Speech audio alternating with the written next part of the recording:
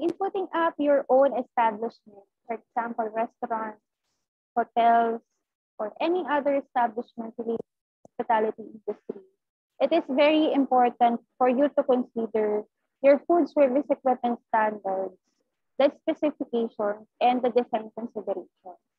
Because it will add up to your profit because it will hinder um, complaints. Uh, that uh, wherein complaints will add up cost. But if you consider um, knowing or being knowledgeable about uh, the standard specifications in the design consideration of what equipment you need to have in your establishment, it will add up and generate more profit to you and it will lessen customer. Okay. Good morning, everyone. Our topic for today is about the uh, food service equipment standards, specifications, and design considerations. Food service equipment standards and specifications.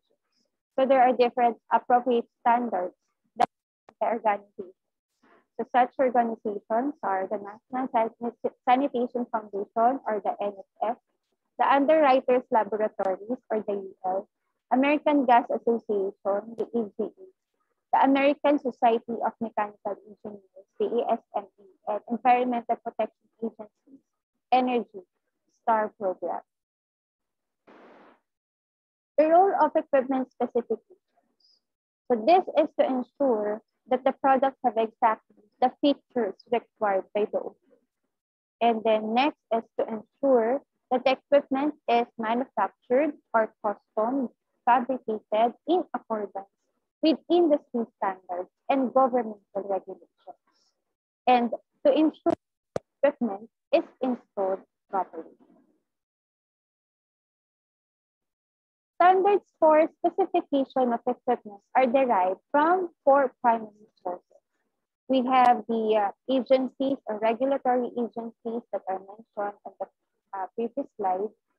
The, also the health departments, the manufacturer standards, the functionalities and features desired by the buyer, and industry standards as reflected in the language of the consultant specifications. So the equipment can be manufactured in custom.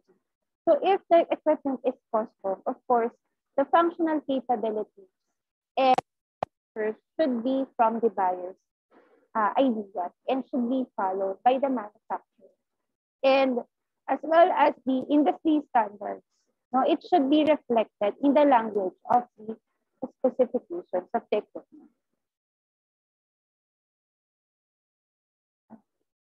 Next, certification agencies. So I have mentioned different certification agencies from the previous slide. So these are their logos. So for the CSA, NSF, the UL, the ETL, and the CE. The materials used to make the equipment must be able to withstand the normal wear, corrosive action of food, cleaning products, and even insects or rodent penetration, and nothing that comes into contact with food can impart any odor, color, taste, or harmful substance to the food. And the equipment must be able to eh, be installed, maintained, cleaned, and sanitized properly with reasonable effort. The equipment perform as expected according to its purpose and the manufacturer's promises. A holding unit that has a temperature range of a certain number of degrees must indeed be able to hold food in good condition within the temperature range and so on.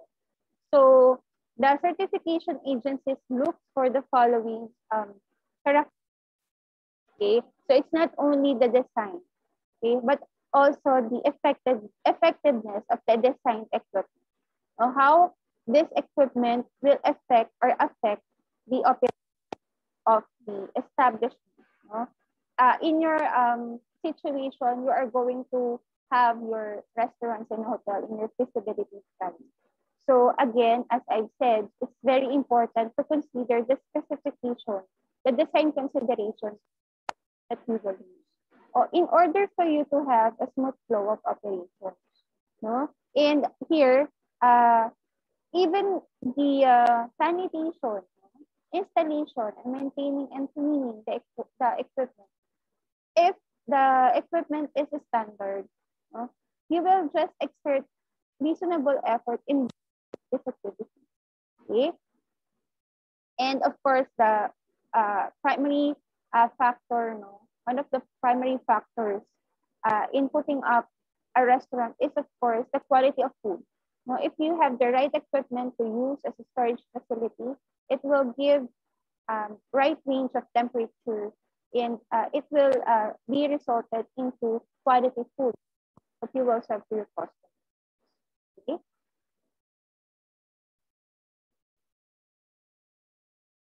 Next. There are two types of equipment. The first is manufactured.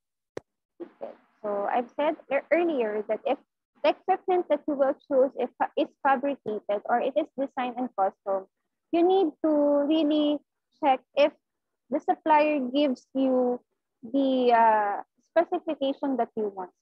Okay? For this custom equipment to function properly in accordance to what you have stated or of, on what you have requested. So manufactured equipment is selected from manufacturer's catalogs of standard products. So this is an of equipment specification. Okay. So for the uh, manufactured equipment, here, uh, here are the different details that should be included.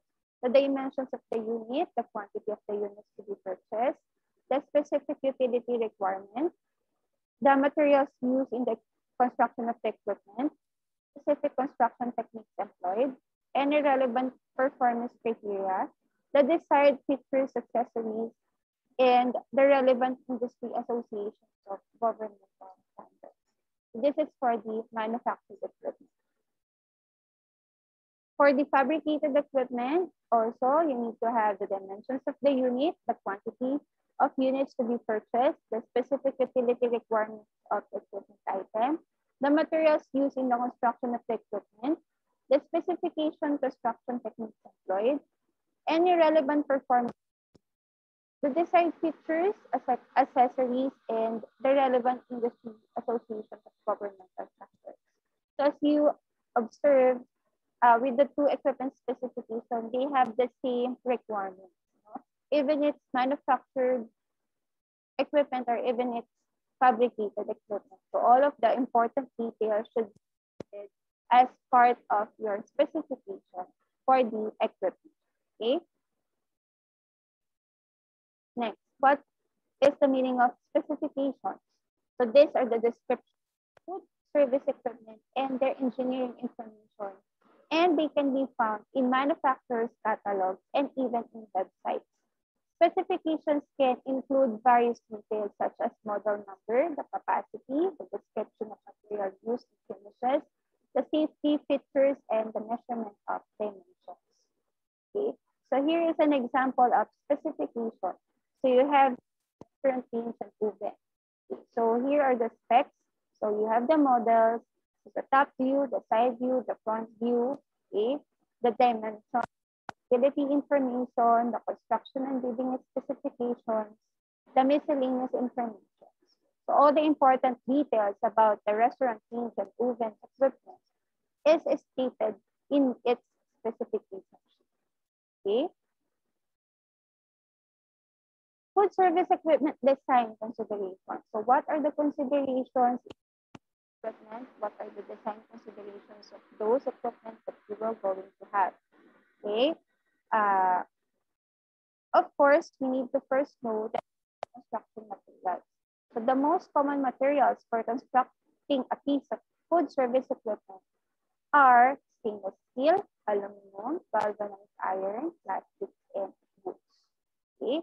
So as you observe, uh, as you dine in different restos and hotels, no, if you are uh, already have been into hotels, no, observe the construction materials. No?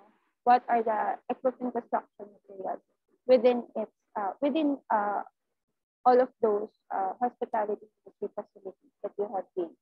Okay, so next uh, for the stainless steel, uh, the type should be Type 302 to 304, work surfaces, etc. So these are the um, equipment that or the uh, parts or the materials that uses uh, work surface? Again, the work surfaces, equipment panels, and others. Aluminum, uh, aluminum are mostly used for parts and racks. Galvanized iron uh, is used for internal structures or counters. Plastics are, are also used for decorative surfaces, functional surfaces, or uh, such as storage shelving. Okay. Next, for the wood, uh, this can be found for uh, hard maple for bakers, tables, and decorative trees. So examples are on the pictures. And then other include uh, tile, glass, solid surface, and plastic laminate. Okay. Uh, for the wood and the other uh, tiles, here are the examples and the pictures. So here's an example of a company that uh, provide metals here in the Philippines. So this is uh, Allied Metals, established in August 1965, pioneered the fabrication of stainless steel commercial kitchen equipment and the process established an industry in the Philippines. Built relationships with the most widely used equipment manufacturers in the U.S. and Europe. Built a technically competent organization for installation of service and maintenance so this is uh, located on Bulacan. Okay, I will also share to you the sanitation sanitation requirements operating food operating food establishment. Okay. Again, requirements for operating food establishment. So this is from the Department of Health, Environmental Health Service 1995, implementing rules and regulations Chapter 3, Food Establishments and the Code on Sanitation of the Philippines. So that's basically 856. First, construction and design maintenance. So the equipment and utensils shall be so designed, fabricated, and installed so that cleaning is easy and they do not pose health hazards. Okay, so number 1.2 is lead, soldered containers, and line piping and fixtures shall not be used. 1.3 surfaces in contact with food or drinks shall be made of materials that are impervious, corrosion resistant, non-toxic, okay, easily cleanable, durable, and resistant to shipping. A three-component sink shall be provided and used for manual washing and sanitizing of equipment and utensils. At least a two-compartment sink shall be provided and used for washing kitchen equipment which do not require sanitizing for washing vegetables. So a three-compartment sink includes the uh, wash, rinse, and sanitize section. Okay, so sinks should use for manual washing and sanitizing shall be of adequate length, width, and depth, depth to permit the complete immersion of the utensils in. So dish basket shall be of such design as to permit complete immersion of the utensils and equipment being sanitized thoroughly. So it's very important to consider the depth of the sink for to be able for all the equipment to be properly submerged on the water or into the water for its proper cleaning and sanitation. Okay.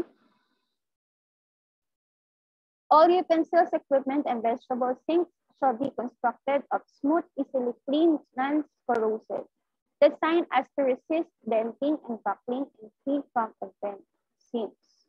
Okay. So this is this not for tableware, utensils and equipment with noticeable cracks and seams shall not be used in food establishments. So if ever you observe uh, when you eat in different uh, restaurants and hotels, if even uh, if you observe uh, utensils that have cracks or dents, kindly tell uh, the management this should not be um, presented or this should not be used? Because um, it may cause and um, uh, injury to guests uh, because uh, the cracks can be broken into pieces and then can it can be to food. You know? It can uh, it can be very dangerous for the customers. Okay? Sliding doors and cabinets shall be easily cleanable and removable. The runners shall be allotted at the ends to permit removal of dust and debris. The bottom shelves or open base fixtures shall be removable to facilitate inspection, cleaning, and maintenance. Okay, so uh, this is very important for the sliding doors and cabinets to be removable for the cleaning and uh, checking and inspect, inspection purposes. No? So from time to time, it's very important to the shelves and the cabinets no?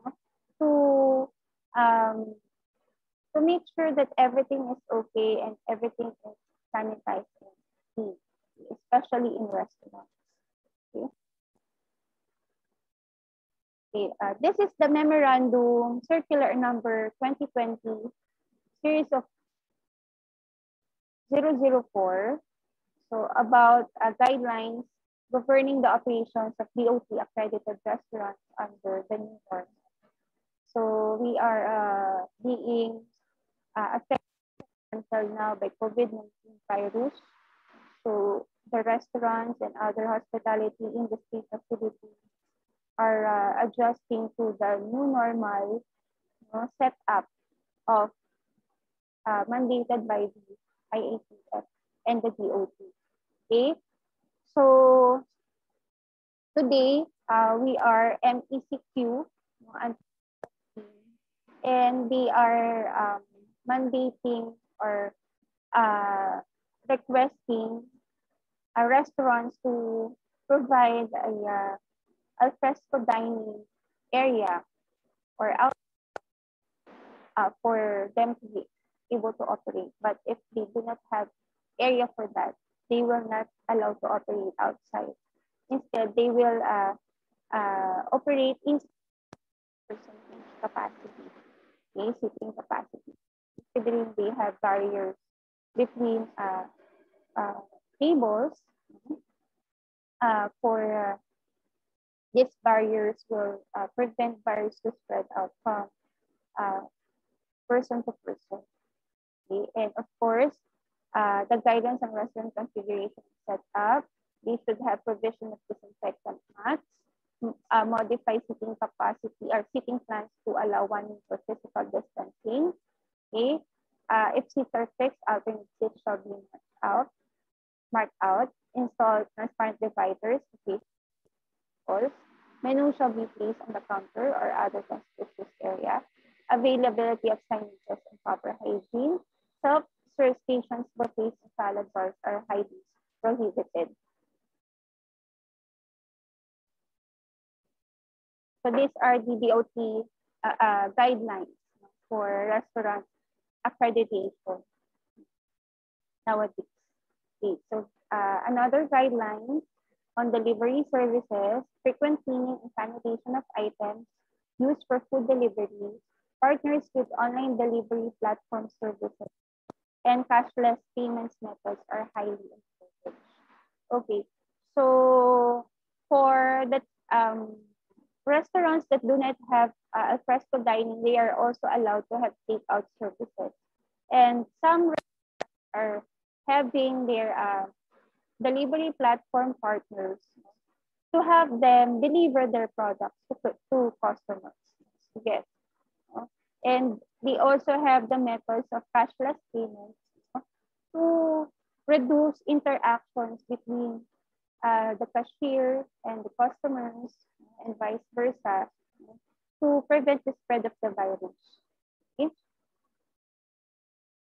Another um, guidelines is for the safety measure, install hide sanitizing stations, provide information, materials on preventative in highly visible areas, kitchen floor markers, separate dishwashing sink and hand for kitchen staff, food preparation areas are strictly off limits to other non-kitchen employees. So this is for the employees. Okay? So the operation uh, on their kitchen. So non-kitchen staff, staff are not allowed to enter the kitchen premises. Okay. Then next is about the uh, situation, current situation. Now, my example here, here is breakfast at Antonio's. Uh, during COVID-19 pandemic, they are complying DOT guidelines. They have QR code for their menus. QR code for health declaration. Uh, they allow 50% capacity restricted area, but now lesser uh, uh, percentage because of the new from the government. No? And then face mask container while eating. So they have all of that. Okay, and uh, I will uh, also reiterate what I have said about alfresco dining. They have that alfresco dining at the back of the restaurant. They are able to accommodate guests uh, with uh, outside uh, or natural ventilation for the air to properly circulate and for the virus not to stack up within an uh, within a closed uh, area, closed space. Okay? So they have uh, this uh, large area outside for their. Okay? So they are very compliant about the about the uh, DOT regulations so for them to be able to uh, operate and to serve their guests, their uh, personal protective equipment while having their operations. Okay? And they can, uh, with that, they are able to serve their customers at its best uh, food and service excellence. Okay? So I have here a video about the uh, actual, showing the actual food service equipment. So the title of the movie is Chef. If you have time, can you watch the video and you can see the different equipment that's used in the movie and you can relate our topic for Okay. Here are the references of today's presentation. Thank you very much. I hope you learned some, something about the restaurant design consideration, the equipment specifications that you will uh, use no, and you can uh, adapt in your study, in your feasibility study. Can refer to the information given on the PowerPoint presentations? Okay. That's it for today. Thank you very much. Stay safe, everyone.